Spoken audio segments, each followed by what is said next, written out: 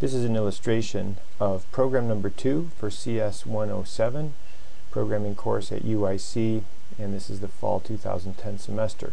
This is the toothpick puzzle where you have three piles of toothpicks and you have to create uh, three piles of eight toothpicks each. So here what we see is the Eclipse window, which is our integrated development environment IDE. So within Eclipse, if we've written our code, which is all the code that's right here, once it's written, we go and run the program, and this shows what the program looks like when it's running.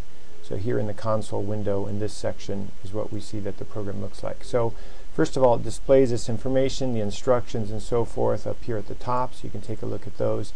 Displays the values in each stack, so your program really needs to have just uh, at least three variables.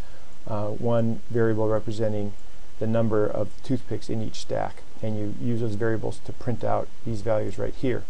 And then I type in the stack I'm entering from, and we're not doing any error checking right now. So here I'll just type in capital A, which is the stack I'm moving from, and let's say capital B, which is the stack I'm moving to, which is going to move 7 from A to B. So there we go, we move 7 from A to B. So that was move number 1, now I'm at move number 2. So I get the second move of the three moves, and I say, let's say I'm moving from, uh, let's say C, hit enter, and then I'm moving to A. And so now I have 8 and A, so it looks like I'm making great progress. And now my third and final move, moving from, let's say, B to stack C. Oh, sadly, I did not succeed, so I have to try again. So that's the end of the program. So then I can run the program again.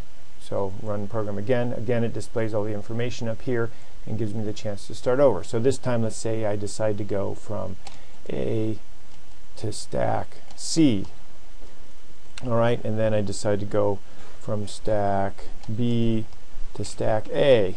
And sadly it looks like I am not going to win this time. I could go from C to B and no I do not have 8 in each stack so I would have to try the program again. So I just ran the program twice so I hope that you can see then what your program is supposed to look like when it runs. Each of these things are what you type in and then your program responds and types in the new information with the value in each stack as you go. And then at the end it looks at the values. If there's eight in each stack then you win and you're great. Otherwise it says nope sorry that's not it. Try again.